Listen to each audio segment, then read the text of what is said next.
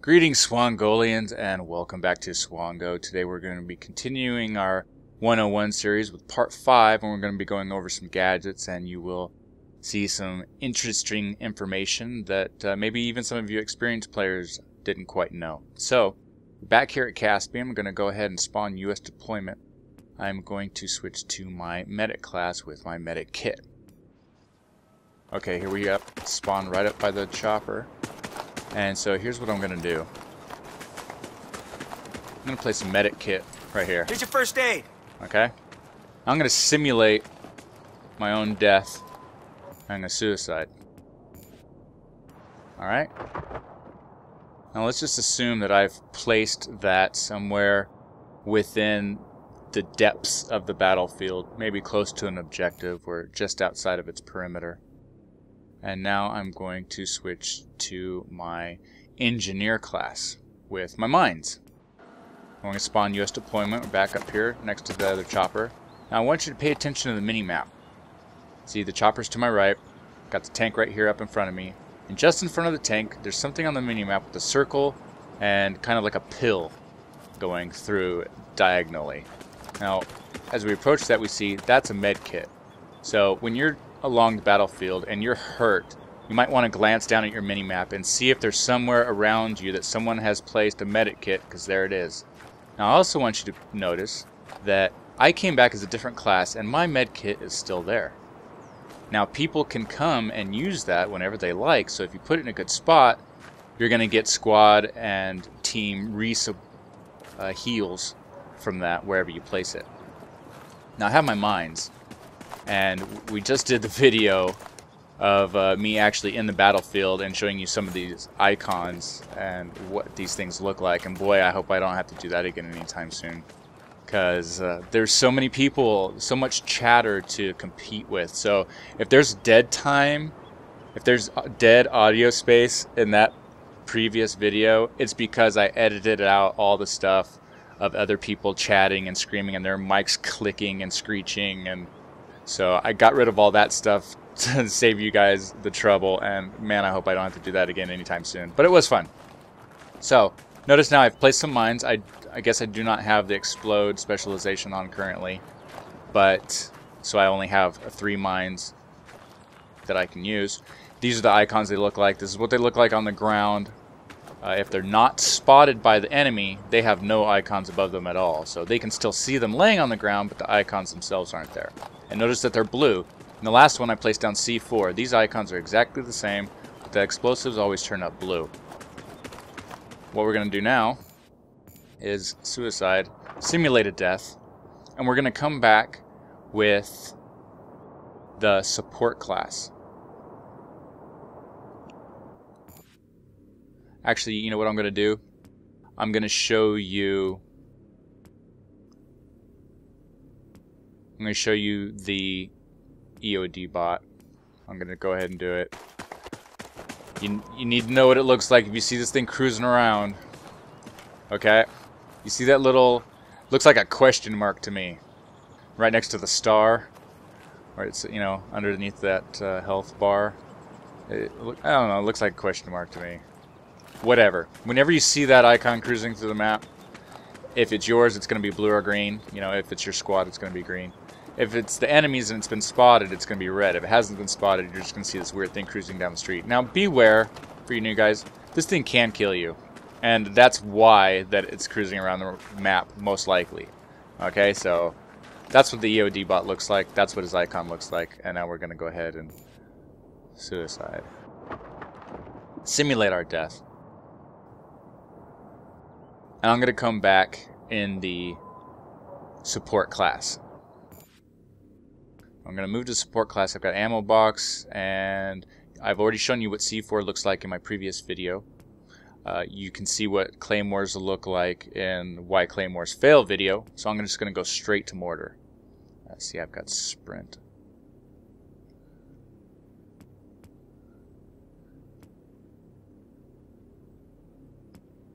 Should be... There we go. Okay, so we're to go ahead and... Oh, we got the mortars. Now, something you need to realize Angry Jeep.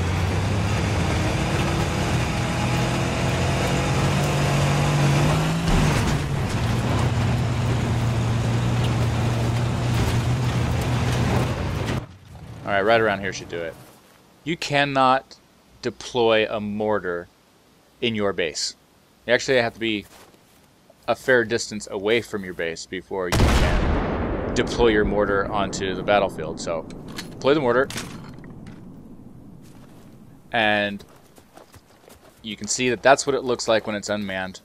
When it is manned, don't try to knife the guy because it's not going to work unless they've done some patch that they didn't tell us about. You're going to have to shoot him. So just go ahead and shoot him or throw a grenade at him or do whatever you have to do to, to kill him, but don't let him continue using his mortar. He can see you if he's looking at you from the front, whichever direction he's he's facing. If you come behind him, he has got no clue that you are behind him. Now notice the mini map. Mini map's got the blue explosive shell icon. That's the mortar. If I go ahead and pause the game, I had to get out of the way.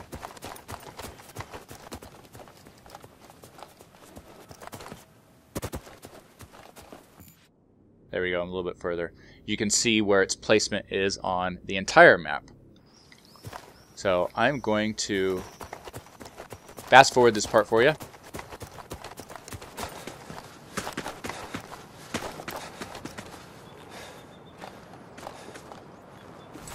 Here's some rounds. Pick them up. Now we've returned back to the top of Caspian. I'm still in the same class. I had placed an ammo pack here. Now when I back up, you'll notice that it is the bullet or ammo icon in a circle. So when they're the crates on the ground in the battlefield, they have circles around them. When you see your teammates, they'll have squares around them. Okay, that's the difference of the icons on your minimap. So here's what I'm going to do. I'm going to simulate my death suicide. And we're going to return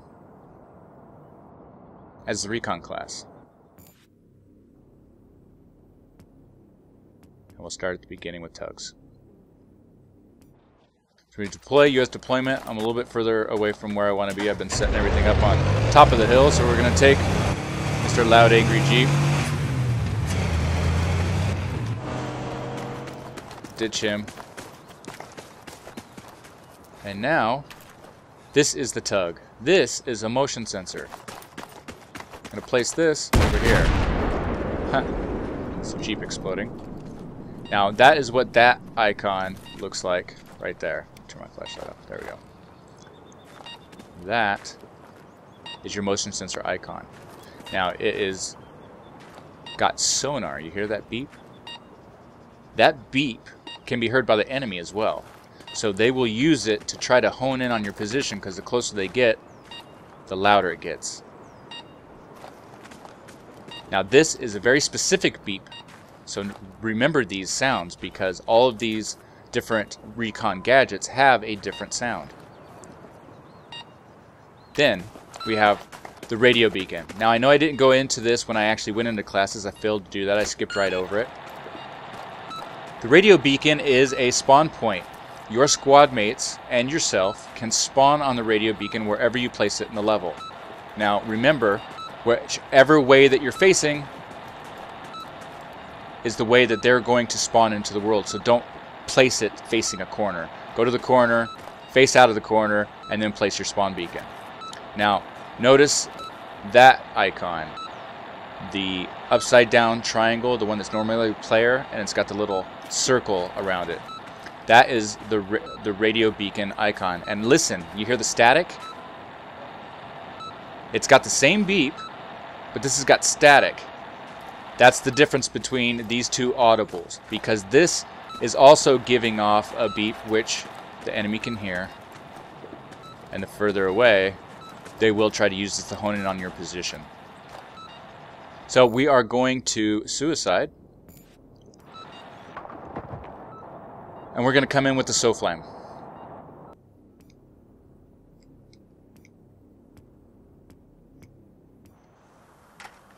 Okay. Back up here at the top of the hill.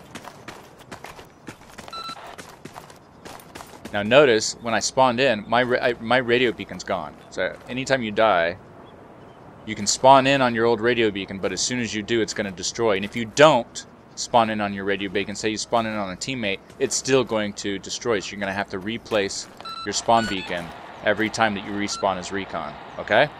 I'm going to pick this up just because of the noise. And go ahead and place this SOFLAM down. Now look how tiny this thing is. it is. It's like binoculars. That is the icon. You see that? Square, and then there's some kind of, looks like a little robot inside of there. That's basically your SOFLAM icon.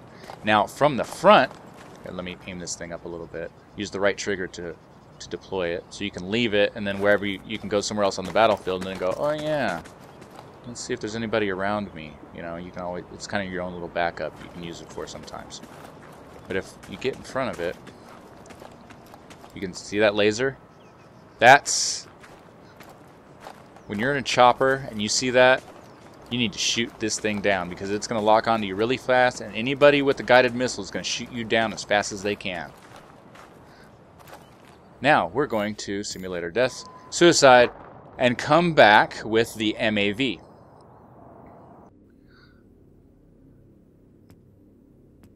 Select the MAV, pop back in.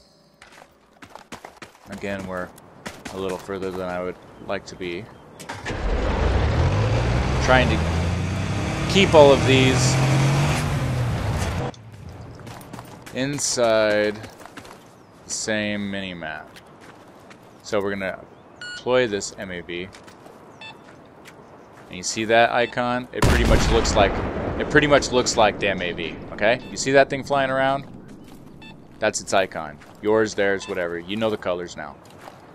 Now listen to it. It's giving off a beacon. This is the same kind of beacon as the as the tug. Now this thing is currently using its motion sensor. Just as good as flying around. So you can park this somewhere and get all those motion sensor assists if you leave it in the right place. Now also notice that all my other gadgets are gone. The SOFLAM's gone, the tugs is gone, my radio beacon's gone. Every time you die, when you come back, when you spawn back into the game, your gadgets as recon do not return. However, notice I still have my med pack. I still have my ammo pack. My mines are still here. I've this I've already gone. This is the fourth and last class, and all my stuff is still here. So switching classes in a match can get you to level up multiple classes very quickly, especially if you put these crates in the right place. You'll be leveling up so fast. Oh my goodness. So, I have an MAV right there. You only get one. Now I'm going to destroy this thing. If it'll let me. Might have to shoot with the tank. Let's see if the tank will do it.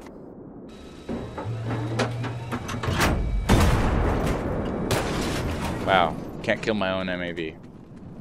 Well, now that is just a horrible, horrible example. How about this? Put the radio beacon up, so I have no more radio beacons. I'm clicking right on the D-pad and nothing's happening. I go over to this ammo pack. Listen. You hear that? I have a new radio beacon. If my radio beacon gets destroyed, if my MAV gets destroyed, if my SOFLAM, any of my gadgets get destroyed, all I have to do, go find this ammo pack and get it back. Look at that, another MAV. Place the MAV, that one dies. Here you go, radio beacon, ready? Boom. You see that? Here we go, ready? MAV, boom. You just can keep, the ammo pack just keeps giving them up. It doesn't just give you ammo, guys. You can refill your gadgets as well. Now here's the beauty of this whole thing. I'm to suicide here, simulate my death, and I'm to come back as an engineer. Now this comes up very handy, especially when you're very close to a spawn trap. Uh, or, you know, you're spawn trapping a team. Oh god, let's please get rid of this EOD bot. Thank you. And this should be on explosions as well. So we'll go back into deployment.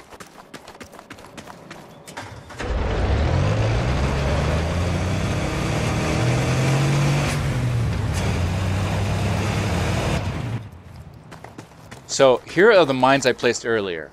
I didn't have the squad explosion specialization equipped, but now I do. So look here.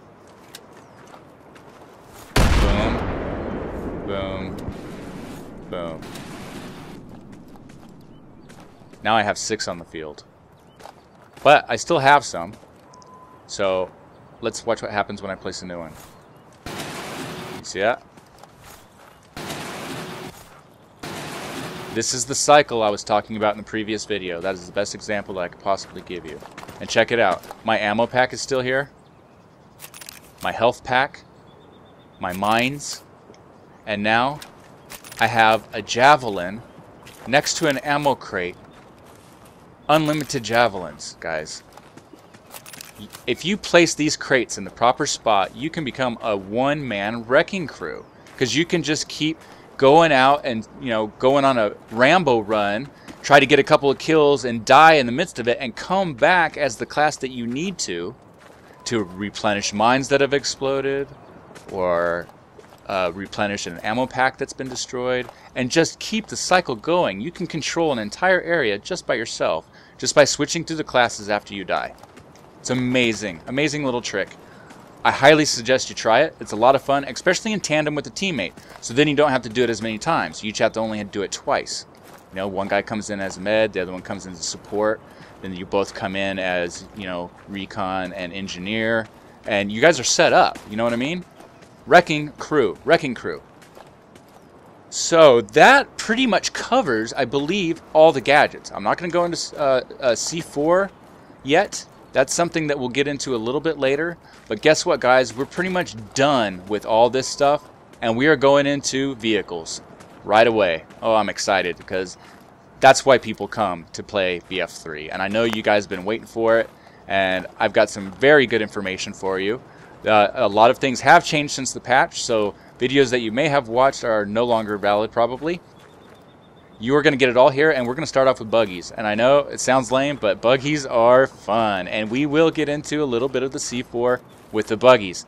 All right? So, this is the OG Bird signing off. And remember to subscribe to the channel, like the video, share it on Facebook, share it on Twitter, get it out there, and happy gaming.